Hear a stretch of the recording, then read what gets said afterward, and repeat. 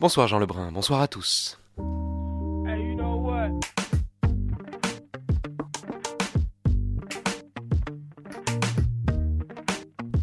C'est le début d'une semaine sur l'éthique de Spinoza dans les nouveaux chemins de la connaissance.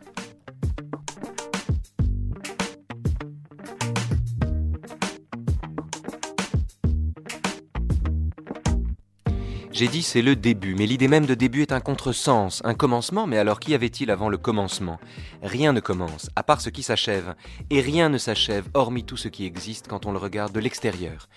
Il y a deux façons de voir le monde.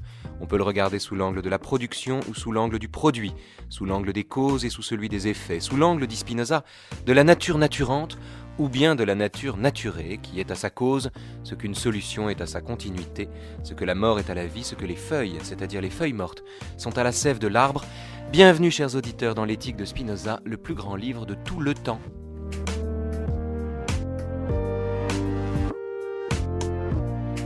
L'éthique de Spinoza, cinq mouvements, cinq parties réparties en mouvements sur 95 267 mots, 17 axiomes, 75 définitions, 1524 paragraphes et 259 propositions, sans compter les démonstrations, scoli, appendices et préfaces. Un ensemble qui va de la nature de Dieu à la liberté de l'homme en passant par l'esprit, les états d'âme et la servitude, des renvois incessants, des axiomes, des lemmes, des postulats, des attributs, des modes finis et ce Dieu substance qui, pour tout dire, ne ressemble à rien puisqu'il se confond avec le tout.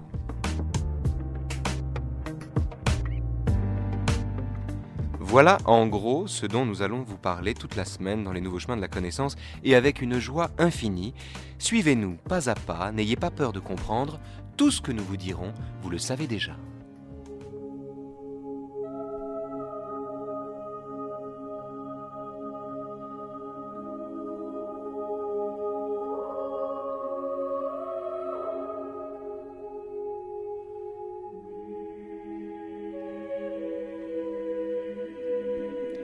Bonjour Myriam Korishi. Bonjour. Bonjour, bienvenue sur France Culture, de nouveau dans les nouveaux chemins de la connaissance. Vous êtes philosophe et dramaturge, vous avez soutenu une thèse sur Spinoza et vous travaillez, vous faites des recherches actuellement en éthique contemporaine. C'est une joie à double titre de commencer avec vous cette lecture suivie de l'éthique de Spinoza dans les nouveaux chemins de la connaissance. D'abord parce que Spinoza, vous le connaissez sur le bout des doigts, ce qui veut dire que vous l'avez lu et qu'il vous a touché. Ensuite parce que nous sommes amis, vous et moi, et qu'à ce titre, nous formons ensemble ce que Spinoza appelle une notion commune, c'est-à-dire le mystère d'une convenance dont l'harmonie surmonte les, différences. De fait, nous ne sommes pas d'accord sur Spinoza, même si nous sommes d'accord pour ne pas l'être.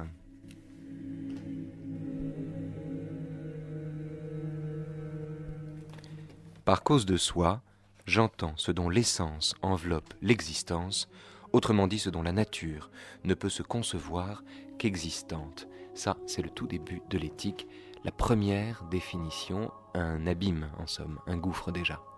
Un gouffre euh, dont le précipice se présente de manière un peu brutale parce que euh, on fera remarquer que l'éthique commence de manière euh, donc abrupte, sans préface à cette première partie de l'éthique qui s'appelle de Dieu. Et elle commence en effet cette partie euh, par une suite de définitions. Juste un point, on a beaucoup glosé sur le fait que Spinoza était arrogant parce qu'il commençait par Dieu. Pour qui se prend celui qui commence par Dieu, en gros? Est-ce que cette, cette critique a du sens? Est-ce qu'on peut dire de Spinoza qu'il manque d'humilité en commençant par Dieu? Je pense que euh, Spinoza se pose plus la question de, de, la, de la, rigueur euh, que de l'humilité. Euh, il se pose plus la question de la vérité et des moyens d'atteindre à la vérité que, que, du problème de ce que les philosophes euh, professionnels, hein. professionnels penseront de lui. Mais cette, cette observation qu'il commence donc l'éthique de manière abrupte, sans préface, euh, générale ni euh, particulière pour cette partie euh, consacrée à Dieu euh, est importante parce que c'est comme si Spinoza donc nous plongeait euh, medias res au milieu de euh, la chose même, j'allais dire, Dieu. Mais bah, en il, fait, il, il, serait, irait... il serait arrogant si Dieu était le Dieu des chrétiens. Le Dieu dont il parle étant, euh, j'allais dire presque l'existence elle-même, euh, il y a, en fait, en somme, il commence par ce qui est. Il commence par ce qui est, mais pour être encore plus euh, précis, il commence par, euh, non pas Dieu, mais par euh, la causalité. Donc il y a toutes les chances que cette partie, qui s'appelle de Dieu, va en fait nous permettre de comprendre un peu plus ce qu'il faut entendre par causalité dans un horizon qui est euh, celui de la science mécanique du XVIIe siècle. Spinoza est le promoteur de l'idée d'une causalité efficiente et non plus finale. Euh, c'est d'ailleurs sur ce point-là qu'il va terminer cette première partie de l'éthique, dans l'appendice de la première partie de l'éthique, dont il faut dire peut-être d'ailleurs à l'attention des auditeurs que c'est peut-être le texte le plus facile à lire hein, euh, de l'éthique de Spinoza, en tout cas une bonne, une excellente porte d'entrée. Spinoza distingue causalité finale et causalité euh, efficiente. Ça n'est pas la même chose. Il faut préciser ces, distinctions. Alors, euh, la, tradition, euh, à partir de ce qu'on a retenu d'Aristote, donc la tradition distingue quatre causes. et Spinoza n'aurait retenu qu'une, qu'un type de causalité, conformément donc au contexte de, promotion scientifique, scientifique des sciences physiques de l'époque, la causalité efficiente. Euh, C'est-à-dire la, simple juxtaposition, enfin, euh, disons concaténation cause-effet. La connectivité entre la cause et l'effet. rappelons qu'il y a euh, la, cause formelle, la cause matérielle, la cause efficiente et la cause finale. Donc Spinoza disqualifierait les trois, trois causes et garderait que l'efficiente. Or, euh, Spinoza, donc la cause formelle, rappelons-le, c'est la cause par l'essence, ou disons que euh, l'effet se rapporte à une essence de la chose. La chose serait aussi l'effet de sa propre essence. Or, il me semble qu'on retrouve un petit peu quand même dans le texte de Spinoza quelque chose qui est de l'ordre de la cause formelle, c'est-à-dire que Spinoza euh, donc, va construire un système de la nécessité très strict, euh, en partie pour euh, persuader, convaincre son lecteur que tout ne peut pas venir de n'importe quoi. On va revenir sur la causalité finale et efficiente. la causalité finale, donc, c'est la représentation d'une fin un au-delà hein, qui ordonnerait l'action. On se donne à la façon dont les hommes peuvent se donner un but. La causalité efficiente, c'est la production de cette chose. Pour donner un exemple que Spinoza prend lui-même, euh, causalité finale, c'est l'architecte de la maison. La causalité efficiente, c'est le maçon ou c'est l'ouvrier. On peut dire ça comme ça. Dieu est cause efficiente. Alors l'idée qu'il se fait de Dieu, c'est un Dieu non providentiel et du coup l'univers est tout entier ordonné selon le principe de causalité euh, efficiente. Avec une exclusion totale de euh, la causalité finale. Euh, disons que la causalité finale est une, illusion euh, que les hommes se font parce qu'ils ils ont conscience de leurs actions, donc ils, ont, ils croient agir en vue de fin et à cause de faim, alors, et cette euh, croyance masque les motivations réelles, euh, qui sont en partie en fait inconscientes, qui les font agir. C'est-à-dire en fait, dans la vie, on se donne des buts, et comme on prend nos désirs pour des réalités, on croit que le monde lui-même a des buts ou des intentions. Voilà, et, donc ça, c'est l'illusion euh, fondamentale critique ici Spinoza, mais en outre, les hommes s'illusionnent sur leur propre euh, motivation. Alors, revenons-en à Dieu. Par cause de soi, j'entends ce dont l'essence enveloppe l'existence, autrement dit, ce dont la nature ne peut se concevoir qu'existante. J'ai dit revenons-en à Dieu, on ne sait pas encore hein, que euh, c'est Dieu qu'il désigne par cause de soi, qu'il désignera également par, par substance. Dieu arrive à la sixième définition de la première partie de l'éthique. Mais euh, revenons à cette première définition. Donc par cause de soi, c'est ce dont l'essence enveloppe l'existence. C'est-à-dire ce dont, euh, quand on le conçoit, on ne peut le concevoir qu'existant.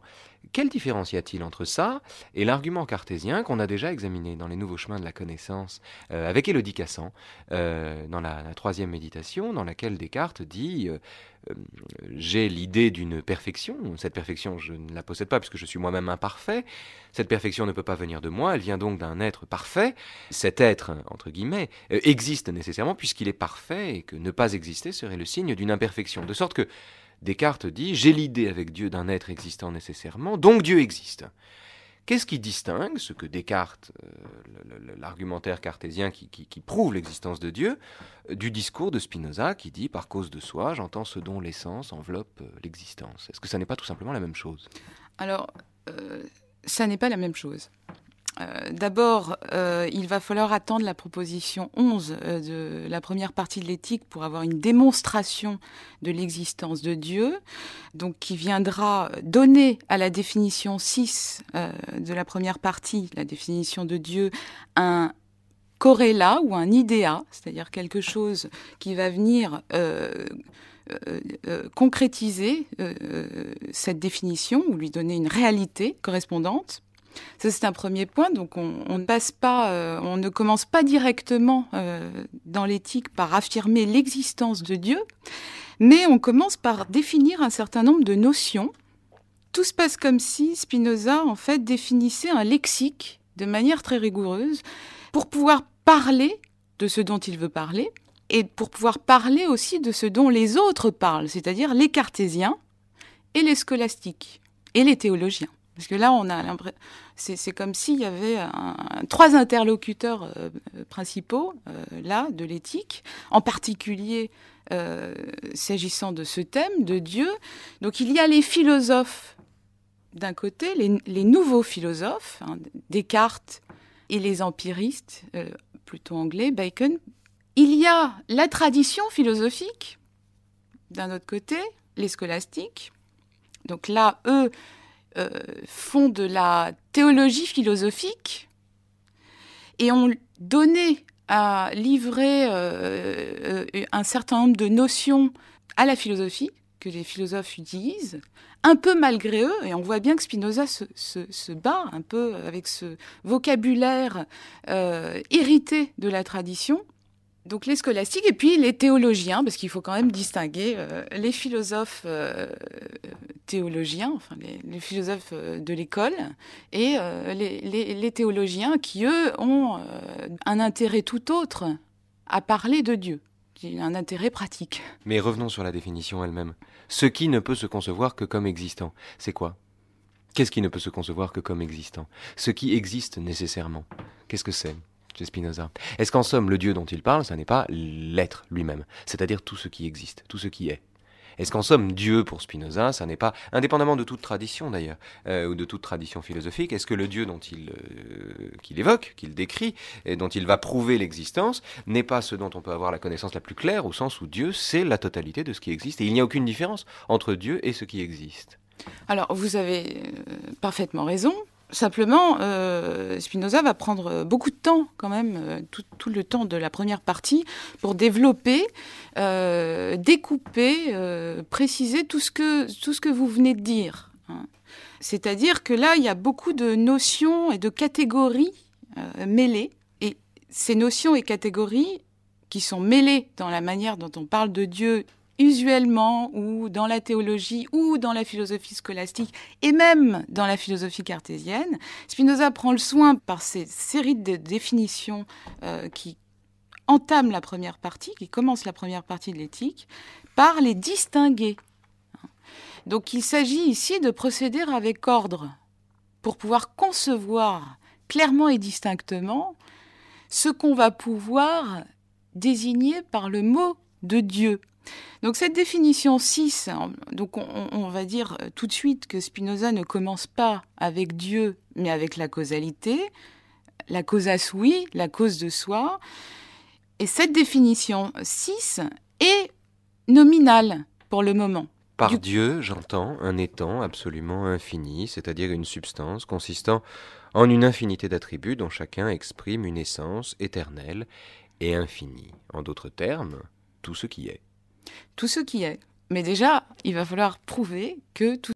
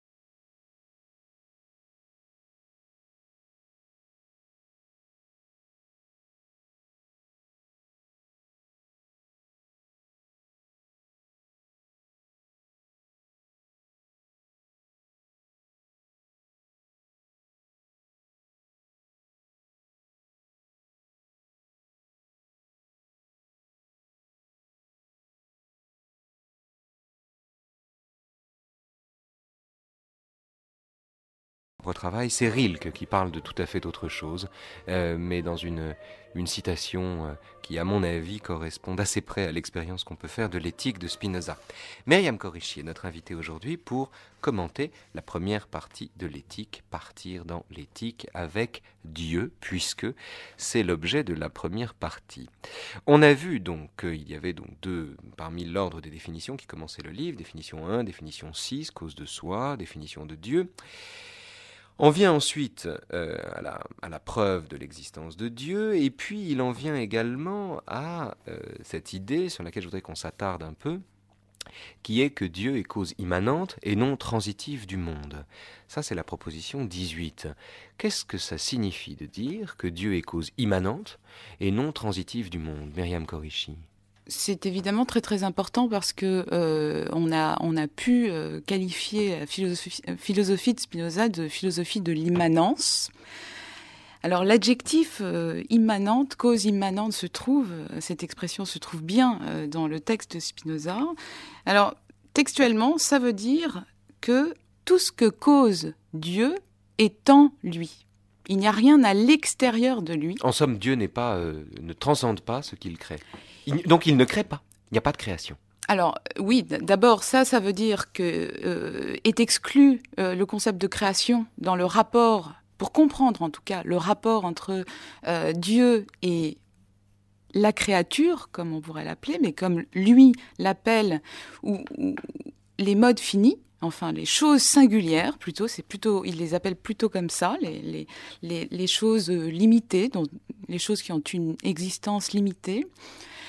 Donc tout ce que produit Dieu, il le produit en lui-même. Et c'est ça que veut dire d'abord euh, immanent.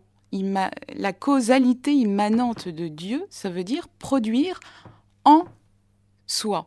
Est-ce que, est -ce que ça n'est pas un, Et non pas hors et, non pas hors de soi. Est-ce que ça n'est pas d'ailleurs une, référence? Est-ce que finalement l'intuition d'un Dieu qui est, euh, euh, comment dire, le contemporain de ce qu'il produit, mais même plus que le contemporain, qui, ce qu'il produit et Dieu finalement sont, sont une seule et même chose? Cette intuition-là, est-ce qu'elle lui vient pas de l'Évangile selon Saint Jean qui dit euh, Dieu est en nous, nous sommes en Dieu oui. En Dieu, nous nous mouvons. Enfin, est-ce que ça, est-ce que finalement, ça n'est pas de la Bible qu'il tient l'idée qu'il n'y a pas de différence entre Dieu et l'homme?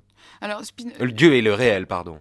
Disons que les, rapports entre euh, la philosophie, de Spinoza et, la Bible sont certains. Enfin, disons qu'il y a, il y aura sans doute pas une source d'inspiration, mais disons que euh, il, reconnaîtra volontiers que dans les livres euh, des, des religions révélées, il y a quelques intuitions qui sont justes, mais qui sont confusément appréhendées ou, comprises. Il parle de ce que les Hébreux ont aperçu comme à travers un nuage. Voilà. En somme, en somme, la Bible dirait des choses justes, mais le chemin qui, qui, conduit, euh, relève de, de l'imagination. Relève de l'imagination et par là euh, peut faire fausse route précisément euh, à l'esprit. Dans la proposition 29 de la première partie, euh, qu'on parcourt comme ça, euh, au rythme qui convient d'ailleurs, puisque l'éthique se lit, euh, il y a une infinité de chemins possibles, mais empruntons celui-là. Dans la proposition 29, il distingue la nature naturante et la nature naturée. Il dit ceci, par nature naturante, on doit entendre ce qui est en soi et est conçu par soi, c'est-à-dire Dieu en tant qu'on le considère comme cause libre. Par nature naturée, tout ce qui suit de la nécessité de la nature divine ou de chacun des attributs de Dieu. Pour le dire autrement, est-ce que nature naturante et nature naturée, ça n'est pas la même chose, mais vue de deux façons différentes? Alors, c'est la fameuse formule euh, qui a été beaucoup commentée de Deus sive natura, euh, Dieu ou la nature, avec cette équivalence évidemment problématique pour un certain nombre de raisons. Euh, notamment théologiques, évidemment, mais aussi philosophiques.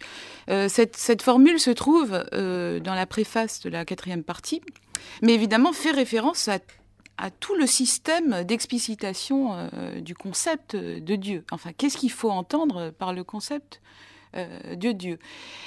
Alors, nature naturée, nature naturante, cette, euh, distinction, ces deux concepts techniques sont hérités du vocabulaire scolastique. Là, on retrouve hein, donc cette contrainte de prendre en compte quand même comment les autres philosophes parle euh, de ce dont lui-même parle. Euh, donc oui, c'est la même chose, mais cependant, alors là, on, approche du problème euh, proprement spinoziste. Nature naturée et nature naturante, c'est la même chose. Et cependant, il ne faut pas commencer par dire cela, parce que tout le problème, c'est de pouvoir dire que Dieu, c'est la nature, et qu'en même temps, Dieu est l'infinité des choses produites, mais finies, se distingue radicalement tant par l'essence que par l'existence. C'est le, le, problème Spinozzi, c'est-à-dire à la fois penser un rapport étroit entre Dieu et ce qu'il produit, et en même temps, il faut préserver cette vieille distinction entre la chose infinie, l'être infini, et l'être fini, ou l'être qui a une existence limitée, euh, parce que euh, terminé par d'autres existences euh, finies à cette, cette distinction, on peut en faire l'expérience le plus simplement du monde. Tout ce qu'on regarde est provisoire, tout ce qu'on regarde, tout ce qu'on vit, tout ce qu'on expérimente est provisoire, et en même temps il y a une façon de faire l'expérience de ce dont nous faisons l'expérience qui nous tourne vers l'éternité qui n'est pas l'immortalité, l'éternité qui est la nécessité qu'ont les choses d'être ce qu'elles sont à l'instant où elles le sont. Ainsi, euh, on peut regarder le monde sous l'angle du provisoire et considérer qu'en somme c'est une malédiction que les choses s'achèvent, on peut aussi regarder ce qui existe comme une preuve euh, et un signe euh, de ce qu'elle a d'éternel en elle-même, ici et maintenant. Alors on a peut-être euh, là la raison euh, pour laquelle Spinoza euh, commence, non pas par Dieu, hein, enfin si, textuellement la partie s'appelle de Dieu, mais commence dans le concept par l'infini ou l'absolument infini.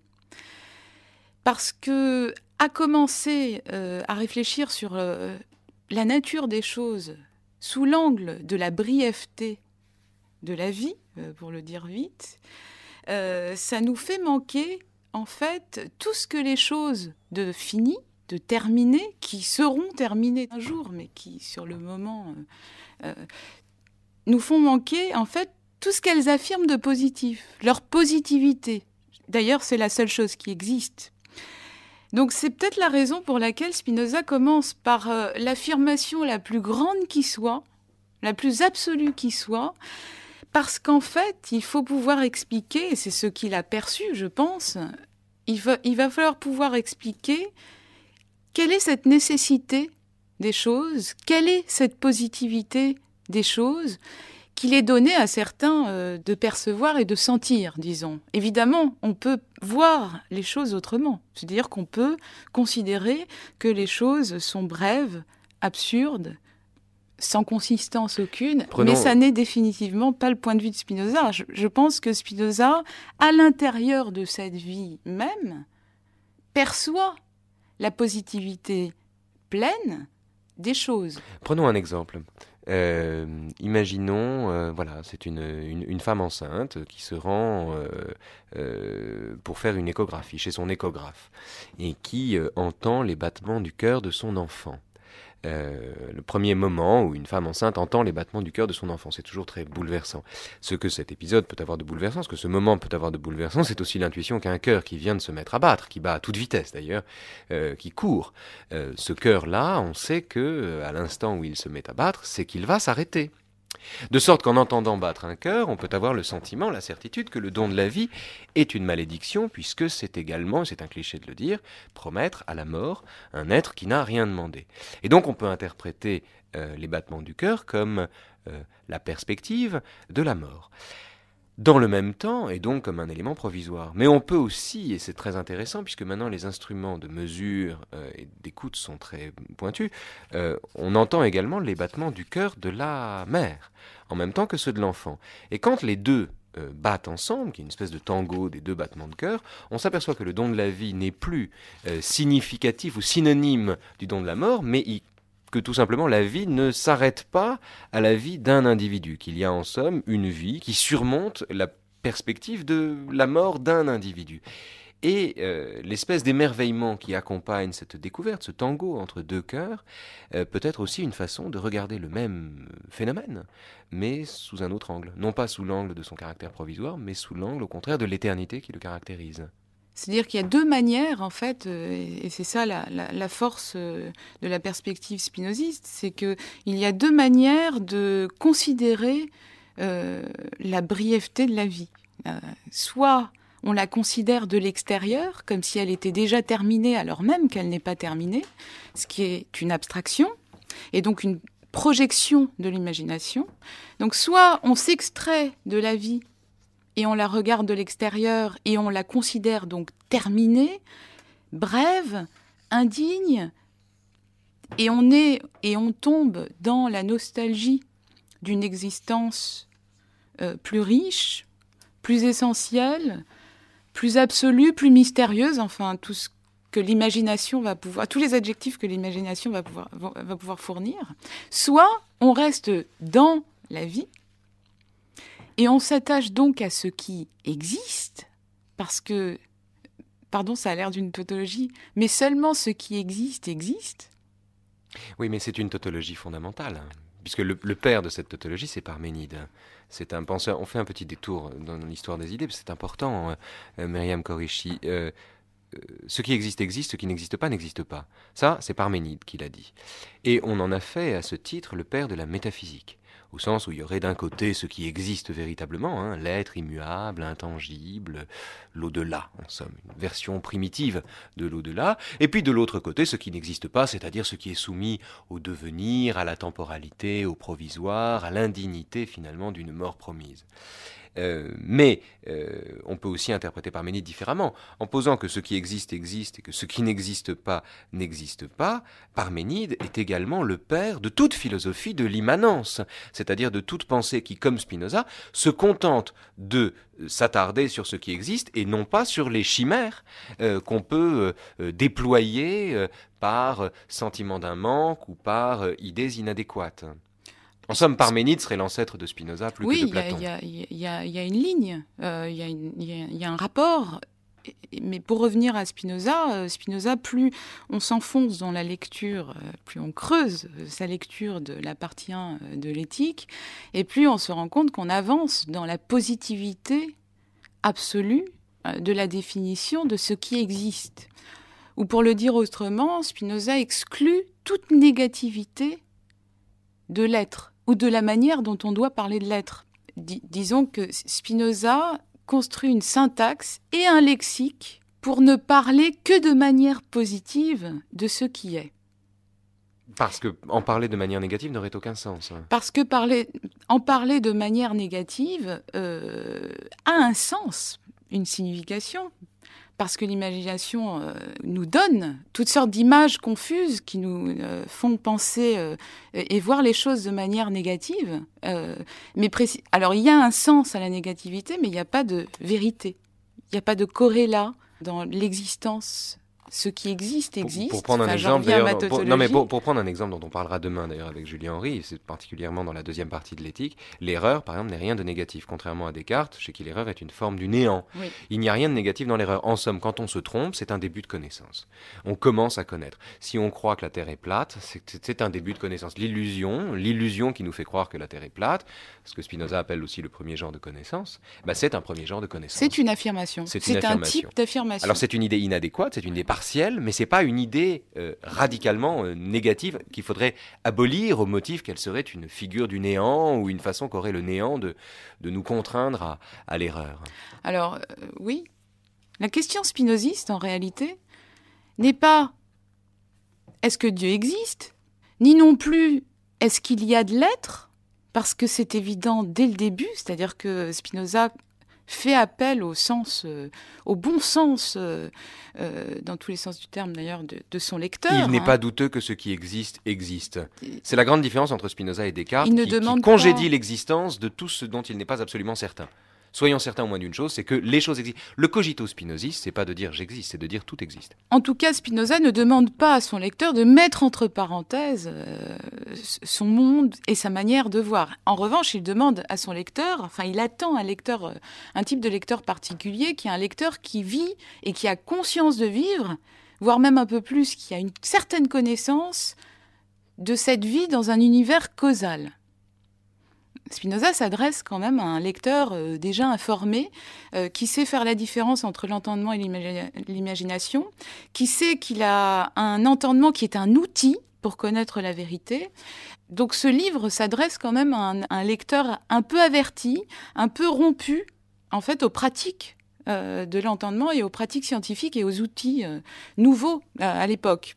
Alors certainement donc pas euh, au public euh, le plus général de, l'époque, mais un, un, nombre de lecteurs choisis. Euh, d'ailleurs, Spinoza, en 1675, son éthique est terminée. Rappelons qu'il meurt en 77. Il meurt en 77, donc il, est à peu près. On, on, peut savoir que son éthique est terminée. Il refuse. Elle est prête pour la publication et il refusera de la publier parce qu'il se rend bien compte que le contexte est défavorable à euh, la publication d'un tel ouvrage, c'est dire la conscience qu'il avait euh, que son livre ne s'adressait pas à un public très large à l'époque. Mais certainement, les choses ont, changé. Nous sommes euh, nombreux aujourd'hui à savoir que nous vivons dans un univers causal. et donc ce livre, certainement, s'adresse à un nombre bien plus important que euh, ça n'était le cas il y a deux siècles. En vérité, surtout quand on lit l'éthique, on s'aperçoit qu'à l'instant où on comprend ce qu'il y a dedans, c'est qu'on comprend qu'on est compris par lui. C'est ça qui est merveilleux. Lire l'éthique, c'est découvrir, non pas qu'on le comprend, mais découvrir qu'on est compris par ce que l'éthique décrit. Et que finalement, c'est un peu le livre dont le lecteur est le héros. C'est la première version du livre dont le lecteur est le héros. Lire l'éthique, c'est forcément s'y retrouver à un moment ou à un autre, puisque l'éthique s'intéressant à ce qui existe, et ce qui existe étant le lot en particulier du lecteur ponctuel de l'éthique, le lecteur ponctuel de l'éthique, ça vise toujours un moment qu'il est concerné par ce qui est en jeu. C'est tout le sens d'ailleurs de ce que Spinoza dit quand il dit que nous sommes des parties de l'entendement infini de Dieu. Myriam Corichi. Alors oui, alors euh, certainement ces lecteurs étaient peu nombreux à l'époque, et maintenant, euh, je pense, euh, sont de plus en plus nombreux. Et alors, pour en revenir à la question proprement spinoziste, contrairement donc au est-ce qu'on pourrait penser La question spinoziste n'est pas est-ce qu'il y a de l'être, est-ce que Dieu existe? Et comment le démontrer son existence, mais c'est plutôt puisque je garde, pardon, je parle à la place de Spinoza, puisque je garde le mot de Dieu, il va falloir que je, justifie cela. Pourquoi Spinoza, en effet, garde le mot de Dieu alors même qu'il en, il en détache toute signification transcendante, toute signification énigmatique, euh, dans le sens euh, du mystère théologique, en tout cas. Donc pourquoi garde-t-il ce mot de Dieu alors même qu'il le définit, donc, qui définit Dieu comme une substance absolument infinie, et que tout de suite après les définitions, euh, la série d'axiomes définit ce que les commentateurs ont appelé le principe de l'intelligibilité intégrale du réel, donc il y a une équivalence stricte entre l'être et la connaissance de l'être. Je peux tout connaître dans les bornes de mon entendement, mais ces bornes ne sont que quantitatives. C'est-à-dire qu'il n'y a pas un au-delà de la connaissance qui me serait inaccessible par nature. Donc ça, c'est extraordinaire. C'est-à-dire que c'est bah, tout ce qui existe existe et tout ce qui existe peut faire l'objet d'une connaissance. D'une connaissance. Mais ça, c'est déjà euh, tout à fait euh, euh, différent de ce que Descartes, déjà lui-même, hein, affirme. Oui, parce que pour Descartes, rappelons, hein, rappelons que pour Descartes, la source de l'erreur vient du décalage entre la volonté et l'entendement. L'entendement est, limité, euh, l'entendement humain est limité. La volonté humaine, elle, est infinie, et elle est comparable d'ailleurs à la volonté divine. Il y a une, une analogie entre la volonté humaine et la volonté de Dieu chez Descartes, alors que pour Spinoza, euh, les deux n'ont rien à voir parce qu'il n'y a pas de sens à attribuer justement une, une volonté à Dieu. Et puis surtout, ce qui existe existe et par conséquent n'est pas mystérieux puisque Dieu est tout entier tout ce qui existe, rien n'est plus facile à connaître que Dieu, euh, et, tout ce qui relève de l'existence relève par là même du connaissable. deux conséquences à cela, Myriam Korishi. La première, c'est, euh, on, va, on, va, on va y venir, euh, c'est quel, est ce, quel est ce monde finalement qu'on ne peut plus regarder d'en haut? Ce monde où il n'y a plus de position de surplomb, euh, d'où on puisse le, regarder, le contempler et, lui trouver un sens. Ça, c'est la première chose. Mais la deuxième, euh, et je voudrais qu'on commence par elle, c'est le, le, rapport que Dieu entretient, si j'ose dire, avec sa propre liberté, et la définition que Spinoza donne de la liberté. Il dit dans la proposition 17, Dieu agit par les seules lois de sa nature, de la nature, pardon, c'est la même chose, et sans être contraint par personne. En somme, la liberté, c'est l'absence de contraintes, mais ça n'est pas pour autant le libre arbitre. Ah non, l'un des enjeux principaux de l'éthique, c'est de nier la cohérence même de l'idée euh, de libre arbitre. Et là, euh, l'opposition entre Spinoza et, Descartes est, frontale, irréconciliable. Ils sont Spinoza est irréconciliable avec l'idée euh, qu'on puisse affirmer la liberté d'un arbitre. Ça n'a pas de sens pour lui de définir la liberté par euh, la volonté. C'est la raison pour laquelle il s'en prend à tous ceux qui font de Dieu un roi. Euh, à tous ceux qui se représentent Dieu comme il dit ceci dans le scoli de la proposition 17. D'autres pensent que ce qui donne à Dieu le caractère de cause libre, c'est qu'il peut faire à les en croire que les choses qui découlent de sa nature, c'est-à-dire qui sont en son pouvoir, n'arrivent pas ou bien ne soient pas produites par lui. En somme, euh, il continue, cela revient à dire que Dieu peut faire que de la nature du triangle, il ne résulte pas que ces trois angles égalent deux droits, ou que d'une cause donnée, il ne s'en suive aucun effet, ce qui est absurde. Ce qui est absurde. Ce qui est euh, donc très remarquable, c'est que euh, pour Spinoza, il n'y a pas l'ombre d'une hésitation. Dieu, ou ce qu'il appelle Dieu, n'est absolument pas comparable à un, homme surpuissant. Voilà, un tyran ou un roi. C'est la représentation d'un Dieu personnel, en somme. Voilà. Donc, donc évidemment, qui est visé dans ce scoli C'est toutes les imageries des, théologies, euh, des religions révélées. Même si c'est métaphorique, il y a quand même cette référence, ce lien anthropomorphique entre Dieu et l'homme que refuse absolument Spinoza. Il faut bien comprendre ceci, hein, c'est que plus Dieu est personnel, plus Dieu est transcendant, plus Dieu est dans l'au-delà, plus il ressemble à l'homme plus il est construit sur un modèle humain. Ou disons que plus il est laissé euh, la possibilité à l'homme de le concevoir ainsi. Vous parliez de la liberté, donc la liberté, en ce sens, est niée à Dieu. Et cependant, c'est un des enjeux fondamentaux de l'éthique que de d'affirmer un certain type de liberté. Euh, et ce qui est remarquable, c'est que Spinoza va travailler à identifier ou à ne plus faire euh, euh, que l'opposition soit systématique entre nécessité et liberté. Et en revanche, l'opposition va plutôt jouer entre liberté et contrainte. Là, c'est important mais ça n'est pas parce que l'on agit de manière nécessaire et nécessitée qu'on agit de manière contrainte. En somme, si euh, je ne peux pas sauter du sixième étage de mon immeuble et voler dans les airs, ça n'est pas une contrainte. Et ça n'est pas Ça n'est pas une, ça n'est une contrainte que pour celui qui, euh, imaginons par exemple que tous les humains aient des ailes dans le dos, le seul à ne pas en avoir tiendrait pour une contrainte le fait de ne pas voler. Mais comme nous n'avons ni vous ni moi d'ailes dans le dos, on ne tiendra pas comme une contrainte le fait de ne pas pouvoir se soustraire aux lois de la pesanteur. Oui, et ça n'est pas une privation donc de liberté. Voilà, et ça n'est donc pas une privation de liberté. Et que la liberté ne peut se concevoir et ne s'affirmer que euh, en fonction de la nature qui nous est donnée et ça n'a pas de sens, comme dit Spinoza, euh, de concevoir une liberté autre que celle-là. Ça n'a juste pas de sens euh, logique. Et qu'à creuser, on se rend compte qu'on tombe sur une contradiction qui est de type euh, le cercle est carré. Hein. mais derrière cette critique des conceptions théologiques et philosophiques scolastiques et aussi cartésienne, il y a en fait une distinction fondamentale que Spinoza opère et qui va être opératoire dans, sa philosophie, qui est la distinction entre pouvoir et puissance, entre potestas et potentia, ce qui n'est pas du tout la même chose. La puissance euh, se définit par l'essence absolument infinie et productive de Dieu, alors que le pouvoir. C'est le pouvoir qu'a un roi sur ces sujets. C'est un concept euh, politico-juridique. Alors j'en reviens euh, à la question, on se rapproche de la question qui est spinoziste, véritablement spinoziste. De quoi s'agit-il dans ce livre? Il s'agit de se demander en quoi l'existence de Dieu est véritablement divine. C'est ça la question. Je garde le mot de Dieu. Pourquoi?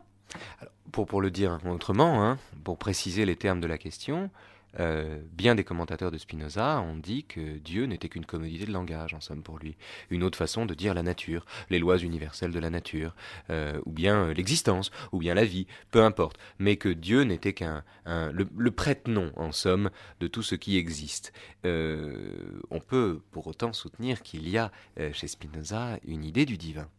Alors oui, parce qu'il garde le mot sans doute pas seulement par commodité, encore que il y a certainement euh, une conception, euh, je dirais, déflationniste de Dieu, c'est certain. Quand on lit euh, le scoli de la proposition 17, il s'agit de cela, hein, de véritablement réduire le concept de Dieu, d'éliminer tout mystère, toute comparaison possible avec un Dieu, avec un roi plutôt, donc d'éliminer la gloire ou l'existence auréolée d'un Dieu euh, vivant dans l'imagination des hommes. D'un Dieu qui nous ressemble. D'un Dieu qui nous ressemble, donc euh, c'est euh, donc déflationniste aussi pour nous, c'est-à-dire que. Mais si le divin ou la catégorie du divin est conservée, c'est non pas pour la gloire de Dieu, mais pour la gloire des choses finies. Hein, parce que si euh, euh, le début de l'éthique, euh, si l'éthique commence par l'infini, c'est pour comprendre qu'est-ce qui d'infini passe dans le fini. Plus nous comprenons les choses singulières, plus nous connaissons Dieu. Ça, c'est on arrive là au terme, terme de l'éthique, c'est un renversement. Est-ce que ça ne tient pas au fait que si Dieu est identique à la nature, c'est qu'il n'y a qu'un seul monde, que ce monde, par définition, c'est le monde de ce qui existe. Il n'y a pas de monde parallèle. Et, pour cause, on ne peut pas être au-delà et exister en même temps. C'est une contradiction. De deux choses l'une. Soit on est au-delà, euh, auquel cas on est au-delà, c'est très bien, hein. soit on existe. Mais si on existe, on ne peut pas être au-delà puisqu'on existe. Et dans ce monde-là, qui est donc tout ce qui existe, qui n'a pas de complément en miroir, qui permettent de le regarder, ce monde-là, euh, dans son âpreté, dans sa difficulté, dans sa dureté, ne nous ménage pas la possibilité de le regarder d'en haut, encore une fois. Et donc, ce que nous avons sous les yeux est aussi explicable, puisqu'il n'y a plus de mystère, qu'énigmatique en tant qu'il existe. Le mystère même de l'existence, enfin l'énigme même de l'existence, se distingue à dessein, énigme et mystère ici. Ce que je veux dire, c'est que l'existence est une énigme, quand bien même elle cesserait d'être mystérieuse. Le fait que tout soit explicable ne rend pas moins étrange l'existence de ce qui existe. Myriam Korishi. Est-ce que euh, vous accepteriez... C'est là qu'on retrouve Dieu, c'est à mon avis. Oui. Alors, est-ce que vous accepteriez que ce que vous qualifiez d'étrange ou d'énigmatique soit, euh, moi, je le qualifierais de, de charme? Parfait. Appelez ça comme vous voulez, mais étrange, étrange a le mérite de conserver l'idée d'étrangeté. C'est-à-dire un monde qui est identique à Dieu, donc un Dieu qui n'est plus transcendant est un Dieu qui n'est plus humain, c'est un Dieu qui n'a plus figure humaine. Par conséquent, le monde qui est Dieu est un monde dont nous faisons partie, nous faisons partie de Dieu, ce monde-là n'ayant plus rien de commun avec nous, n'étant plus fait pour nous faire plaisir, c'est un monde étrange au sens étymologique, c'est un monde qui nous est étranger. C'est un monde, euh, pourtant, euh, oui, euh, il nous est étranger parce qu'il est absolument infini. Et, parce qu'on parce qu'on parce qu'on lui appartient. Il, mais en revanche, parce que nous lui appartenons, euh, il nous est moins étrange. C'est-à-dire que nous vivons pleinement dedans et nous faisons partie pleinement et nous contribuons pleinement à la positivité du monde et à sa productivité. On, s'achemine vers la fin de cette émission, Myriam Korishi, et ce serait mentir par omission que de ne pas évoquer peut-être le plus spinoziste des écrivains, non? Qui est le plus spinoziste des écrivains? C'est Albert Camus, en l'occurrence. Que fait Camus dans Les Noces, par exemple? Il regarde le monde il le trouve étrange, il le trouve merveilleux, il le trouve étonnant, mais il ne cesse de théoriser le silence du monde, le fait que le monde ne lui réponde pas, le fait que le monde ne soit pas là pour lui apporter la réponse aux questions qui sont celles de l'homme, question du sens de la vie, de la providence, euh, question de pourquoi je suis là, etc. etc. Euh, est-ce qu'en somme, euh, l'expérience que fait Camus, ça n'est pas une expérience typiquement spinoziste qui est de consentir à un monde qui ne nous répond pas? Alors il me semble que euh, Camus, euh, la vision euh, de Camus est plutôt double et qu'il alterne entre une vision immanentiste, spinoziste, jouissant de la chose telle qu'elle se donne. Ça me, paraît assez clair. la fin de l'étranger va dans ce sens-là. Il alterne entre cette joie brute du monde, cette jouissance brute du monde, et une vision euh, sans doute plus euh, pascalienne. Il me semble qu'il juxtapose en fait les deux, de sorte que si euh, Albert Camus ne serait pas peut-être la meilleure porte d'entrée pour Spinoza, dans le sens où alors il faudrait lire Spinoza et, et pourquoi pas, et Pascal de concert ou alternativement, parce que peut-être que les deux s'affrontent, les deux sont des penseurs de l'infini, Spinoza et Pascal, mais ils ont résolument, ils n'ont résolument pas la même euh, vision ou le même ressenti par rapport à cette affirmation de l'infini. Pascal, penseur de la misère de l'homme sans Dieu, Spinoza, penseur de la joie de l'homme en Dieu. En Dieu, nécessairement en Dieu. Mais parce que l'idée qu'ils se font de Dieu peut-être n'est pas, n'est pas, n'est pas la même. Euh, un, dernier point. Est-ce qu'il n'y a pas, on, a vu à quel point Spinoza donc s'en prenait euh, euh, à la représentation anthropomorphique d'un Dieu à figure humaine, d'un Dieu providentiel. Et qu'en somme, son Dieu n'a rien à voir avec cela, puisqu'il est tout ce qui existe, il se confond avec ce qu'il crée, donc il ne crée plus rien, il s'identifie à ce qui est. Bon, on a vu tout ça. Euh, est-ce que, euh, en même temps, comment, euh, comment expliquer que Spinoza se sente plus proche du Dieu de Descartes, c'est-à-dire d'un Dieu qui peut faire que 2 et 2 fassent 5, d'un Dieu parfaitement arbitraire, parfaitement souverain, une espèce de super tyran, ou une, une volonté totalement frivole? Comment se fait-il que son Dieu, qui lui est identique à tout ce qui existe et qui d'une certaine façon n'a pas le choix, ce Dieu-là, le Dieu de Spinoza, aux yeux de Spinoza, s'entend mieux avec un Dieu qui serait parfaitement soustrait à toute loi mathématique qu'un un Dieu qui, étant euh, transcendant, obéirait quand même aux lois de la mathématique. Spinoza, certainement, euh, est un cartésien qui radicalise le cartésianisme. C'est une lecture qu'on peut faire. Euh, disons qu'il y a certainement en germe un spinozisme dans le cartésianisme. En tout cas, que Spinoza s'est fait fort de développer euh, jusqu'au bout.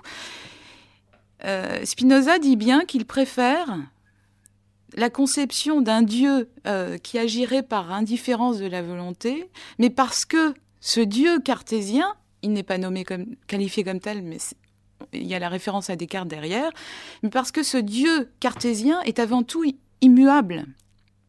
Et qu'au fond, la nécessité des, décrets euh, spinozistes, euh, du dieu spinoziste, est équivalente à euh, la volonté indifférente, parce qu'elle est indifférente, d'un dieu cartésien. En revanche, là, il s'éloigne beaucoup plus, donc, et il le dit explicitement, d'un modèle de dieu qui se référerait comme de l'extérieur à l'idée de bien.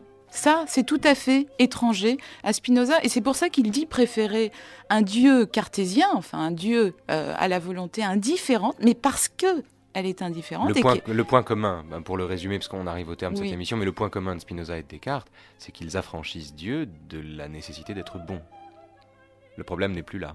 Le problème n'est plus là. Le problème, c'est la puissance et la productivité euh, euh, infinie qui définit l'univers.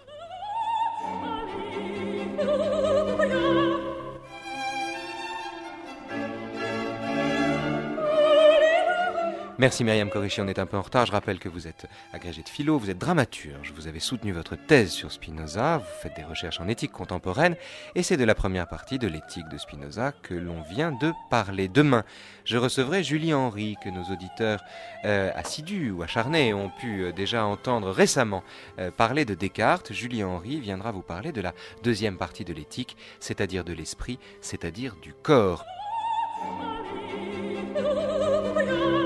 Vous pouvez podcaster, chers auditeurs, comme on dit ces émissions, toute la semaine sur notre site internet à la page des nouveaux chemins de la connaissance. Je vous jure que le podcast fonctionne. Je le dis à l'attention de ceux qui nous écrivent et, qui se plaignent à bon droit de quelques erreurs euh, électroniques.